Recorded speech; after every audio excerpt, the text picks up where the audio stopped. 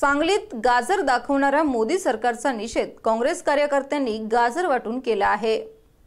मोदी सरकारला तीन वर्ष पूर्ण झाल्याने आज काँग्रेसने सांगलीत गाजर आंदोलन करीत गाजर दाखवणाऱ्या शेर- सरकारचा निषेध करण्यात आला. यावेळी सांगलीच्या काँग्रेस कमिटीसमोर कहा गए अच्छे दिन अशा आशयाचा फलक लावून केंद्र सरकारचा निषेध करण्यात आला. यावेळी सांगलीकर नागरिकांना काँग्रेसने मोदी सरकार हे गाजर दाखवणारं सरकार असल्याचा आरोप करत सांगलीकर जनतेला गाजरचे वाटप करण्यात आले. यावेळी अच्छे दिनच्या घोषणा करणाऱ्या सरकारचा निषेध करण्यात आला.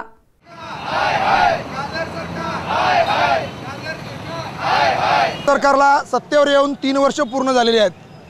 तीन वर्षामध्ये भाजप सरकारनं सत्तेवर येताना जी जी आश्वासनं दिलेली होती त्यातलं एकही आश्वासन भाजप सरकार पूर्ण करू शकलेलं नाही आहे. जे काय काँग्रेसच्या काळात धोरणं झाली त्याच धोरणांचा वापो यानंतर भाजप सरकारनं चालू केला.